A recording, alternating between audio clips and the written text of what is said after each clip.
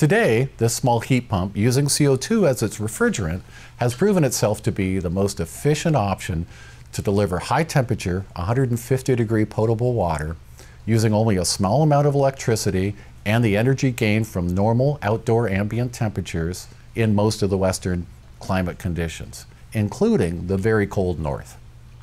Have a larger building and want to save money on heat pumps? The same four heat pumps can recover a larger storage volume of 450 gallons in about six hours.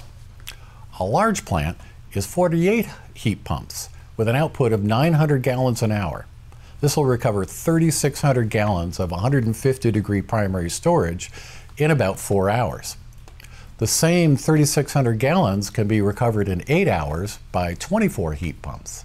The longer recovery time can take better advantage of solar PV availability and offers load shaping possibilities. Piped in this way, the temperature will swing from high to low based on the domestic hot water usage by the occupants.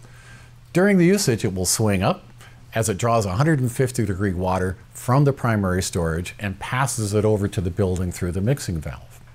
When there's little or no usage, the temperature will swing back down as it loses heat to the building through the recirculation loop.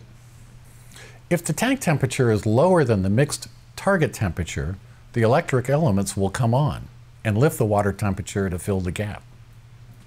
There's no special piping or components for the swing tank. It's just an electric water heater sized for the load with common piping serving the recirc loop.